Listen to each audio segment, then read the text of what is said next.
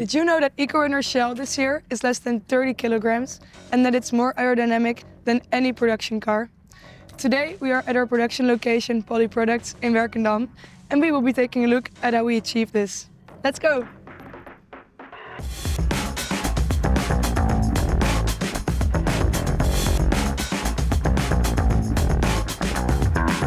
Hey Carolina, Hi, Victoria.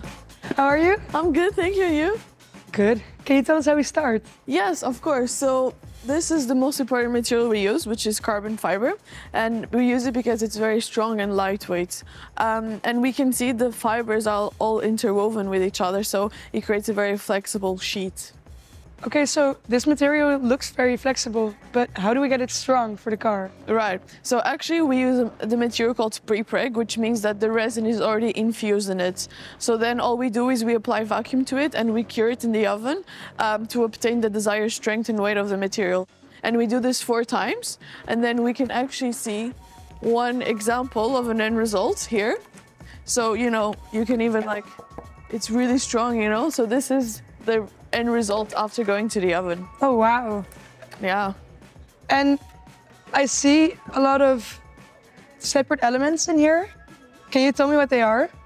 Yeah, so these are actually all the doors and panels of the car, and we decide to do them beforehand because we can, uh, by laying the pre-preg carbon fiber on top of here, we create a flange, and so at the end of the process, we just glue all these panels to the shell through this flange, and we make sure there's no gaps, so the shell will be as aerodynamic as possible.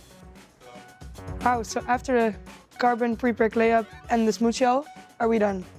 Well, actually, no. I forgot to mention that the shell does experience a lot of stresses in certain parts of the car, so we have to reinforce it, but Sam can tell you more about that.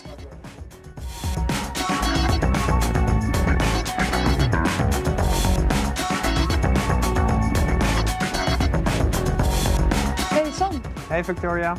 we just learned that the car experiences different stresses. Can you tell us some more about that? Uh, during our design phase, we mapped out potential forces. And using finite element method, we calculate the stresses in the car, where red stresses are high stresses and blue stresses are low stresses. And using the FEM, we could uh, determine where we really needed reinforcement. So what does this reinforcement look like? Um, I have an example right here. Uh, although you cannot see it when the car is finished, we make use of a sandwich construction where we use carbon, adhesive and a honeycomb-shaped material called Nomex. Due to its hexagonal shape, it improves the bending stiffness of the carbon at a low weight cost. Okay, so do you use this everywhere? Not everywhere. We mainly use it in the floor, for example under the driver's seat or beneath the tank in the car. So what happens next?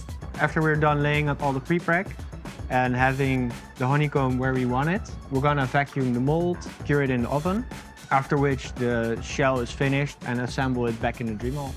Okay, thank you, Sam. I'll leave you to it. We are looking forward to the end result. In just a few weeks, we will start putting together the parts of the Eco 14 and we will start driving. Stay tuned for more insights and developments of the Eco 14.